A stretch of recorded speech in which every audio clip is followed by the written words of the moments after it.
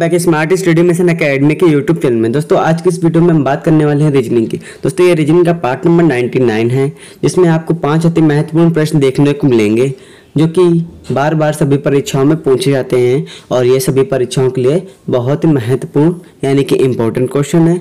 और आपको इस वीडियो में बेहद ही आसान से ट्रिक के साथ क्वेश्चन को बताया जाएगा, जिससे कि आप एग्ज़ाम में, कम टाइम में, ज़्यादा क्वेश्चन कर पाएँगे। तो आइए वीडियो को लॉन्ग ना करते हुए चलते हैं दोस्तों अपनी वीडियो की ओर।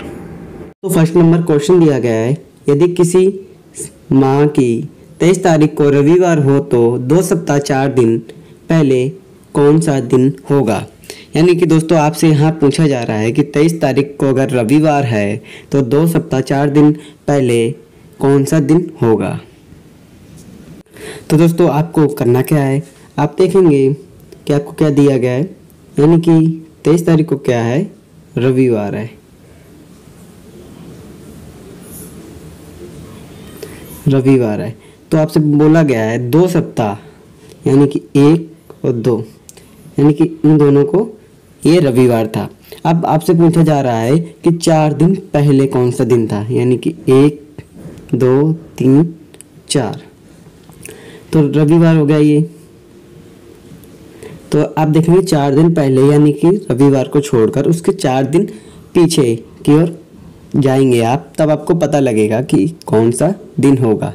तब देखेंगे, अगर रविवार से हम पीछे की जाते हैं तो शनिवार, शुक्रवार, गुरुवार, और फिर फोर नंबर पर क्या आ जाएगा? बुधवार। क्या आ जाएगा? बुधवार। यानी कि जो हमारा राइट आंसर होगा, वो हो जाएगा बुधवार।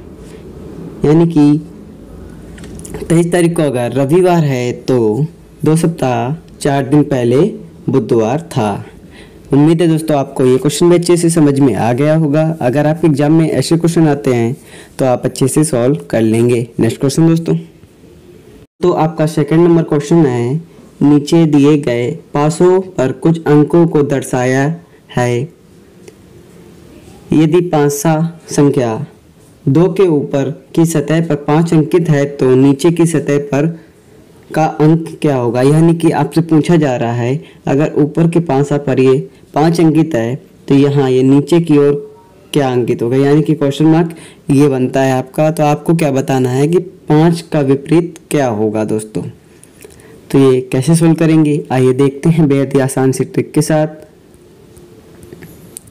आप देख पा रहे होंगे दोस्तों कि इसका विपरीत क्या हो जाएगा? आप ये दो पा आपको ये तीन दिए गए हैं, जो कि ये इस प्रकार है। अगर आपसे पूछा जाए, पूछा जा रहा है पाँच का विपरीत तो आप क्या करेंगे? आपको ये एक पांसा दिया गया है, जिसको हम ऐसे लिख लेंगे, एक, दो, तीन। फिर आपको दिया गया है ये सेकंड पासा, जो कि सेकंड पासा का ही आपसे पूछा जा रहा है। अब लिखेंगे एक, पाँच, चार, यानी कि इधर एक हो जाएगा, पाँच और चार। अब आपको क्या पूछना है? विपरीत, यानी कि तीन का विपरीत जो हो जाएगा, चार हो जाएगा। अगर चार का विपरीत पूछे तो तीन हो जाएगा। ऐसे पाँच का विपरीत दो है और एक का विपरीत एक, यानी कि यहाँ पर दोस्तों एक नहीं होगा, क्योंकि पासा में छः अंक होते हैं। एक का विपरीत यहाँ पर अगर पूछा जाए आपसे तो यहाँ पर क्या आएगा? आपका सिक्स आएगा। अगर आपसे एक का विपरीत पूछता है, यहाँ पर पाँच की जगह एक अगर पूछता है एक तो आपका विपरीत आता सिक्स क्या आता? सिक्स लेकिन आपसे यहाँ पर पूछा क्या जा रहा है? यहाँ पर पूछा जा रहा है पाँच का। पाँच अंकित। यानी कि आपसे पाँच का विपरीत पूछा जा रहा है, जो कि पाँच का विपरीत क्या है? दो है। क्या है? दो है। यानी कि आपका राइट आंसर हो जाएगा ऑप्शन नंबर ए उम्मीद है दोस्तों आपको ये क्वेश्चन भी अच्छे से समझ में आ गया होगा। अगर आपके एग्ज़ाम में ऐसे क्वेश्चन आते हैं तो आप अच्छे से सॉल्व कर लेंगे। नेक्स्ट क्वेश्चन दोस्तों।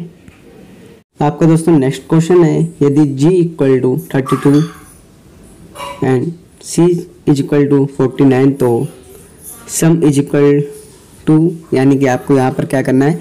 सम का कोड क्या होगा, ये आपको बताना है दोस्तों। तो दोस्तों, आप कैसे सम का कोड ज्ञात करेंगे? तो पहले हमें क्या करना होगा? इन दो सोल्व हमें सोल्व करके दिए गए हैं। इनको हमें देखना है कि कैसे सोल्व किए गए हैं। उसी प्रकार दोस्तों, हम क्या करेंगे? सम का निकालेंगे कोड तो आइए देखते हैं गो इक्वल टू बत्तीस कैसे आया? तो अगर जी हम देखें दोस्तों तो जी आता है हमारा सेवन पर और ओ आता है दोस्तों आपका फिफ्टीन पर। इस अगर दोस्तों इनको हम क्या करेंगे? ऐड करेंगे। ऐड करने पर दोस्तों आएगा ट्वेंटी टू। क्या आएगा? यहाँ पर आएगा ट्वेंटी टू। लेकिन हमें यहाँ पर क्या दे रहा है? Thirty two. तो दोस्तों हमें क्या करना होगा? हमें जी का अपोजिट क्या होता है दोस्तों? टी होता है।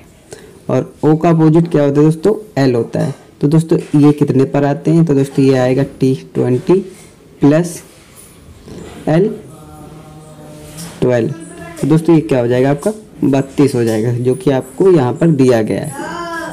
ऐसे सी देखेंगे तो एस का अपोजिट होता है दोस्तों एच और एच का अपोजिट होता है एस और ई e का अपोजिट होता है दोस्तों वी तो एच आपका आता है दोस्तों एट प्लस एच आपका आता है नाइनटीन और दोस्तों वी आपका आता है ट्वेंटी टू अगर हम दोस्तों इनको ऐड करते हैं तो आपका आ जाएगा फोर्टी नाइन इसी प्रकार दोस्तों, हम क्या करेंगे, अब सम का देखेंगे। तो आइए देखते हैं सम को देखेंगे तो कैसे इसका क्या आंसर आएगा। तो दोस्तों, हमें क्या देखना था? सम का देखना था। एस का अपोजिट क्या होता है दोस्तों? एच ओ का अपोजिट हो जाएगा दोस्तों एल एम का अपोजिट होता है एन और ई e का अपोजिट होता है दोस्तों वी एच कितने पर आता है? Eight, twelve, fourteen, twenty two. आप इन सभी को आप क्या करेंगे? ऐड कर लेंगे। तो दोस्तों, ऐड करने पर कितना आएगा आपका? तो ऐड करने पर आएगा 56 क्या आएगा? 56 यानी कि आपका राइट आंसर हो जाएगा ऑप्शन नंबर ए 56 उम्मीद है दोस्तों आपको ये क्वेश्चन भी अच्छे से समझ में आ गया होगा। अगर आप एग्ज़ाम में ऐसे क्वेश्चन आते हैं तो आप अच्छे से सॉल्व कर लेंगे। नेक्स्ट क्वेश्चन दोस्तों। दोस्तों, आपको अगर हमारी वीडियो अच्छी लग रही है तो वीडियो को लाइक करें शेयर करें। आपके जितने भी एस ग्रुप व्हाट्सअप टेलीग्राम फेसबुक जितने भी आपके एस ग्रुप हैं, उनमें ज़्यादा से ज़्यादा शेयर करें। और दोस्तों, अगर आप हमारे चैनल पर पहली बार आए हैं तो रेड कलर के सब्सक्राइब बटन पर क्लिक करके चैनल को सब्सक्राइब कर लीजिए और साइड में बेल आइकन की बटन होगी उसको प्रेस करके ऑन कर लीजिए, जिससे कि हमारी वीडियो की नोटिफिकेशन सबसे पहले आपको मिले। तो दोस्तों, आइए देखते हैं आज का नेक्स्ट क्वेश्चन तो दोस्तों नेक्स्ट क्वेश्चन है आपका। नीचे दिए, नीचे दी गई प्रश्न का सही वेन आरेख बताएँ। तो दोस्तों, आपको किसका वेन आरेख बताना है? पुलिस, चोर, अपराधी। जिनमें से आपको ये चार ऑप्शन दिए गए हैं, जिनमें से आपको चूज़ करना है कि इसका राइट आंसर क्या होगा, यानी कि सही वेन डायग्राम क्या बनेगा। तो दोस्तों, आपको दिए गए पुलिस, चोर, अपराधी, यानी कि आपको पता होगा अपराधी। अपराधी, हमने एक सर्किल लिया अपराधी का। अपराधी किसके अंतर्गत आता है? यानी कि चोर चोर क्या होता है? अपराधी। तो ये हमारा ऐसे हो जाएगा, और हमारा क्या बचा? पुलिस, यानी कि पुलिस। तो दोस्तों, कुछ इस प्रकार इसका डायग्राम बनेगा।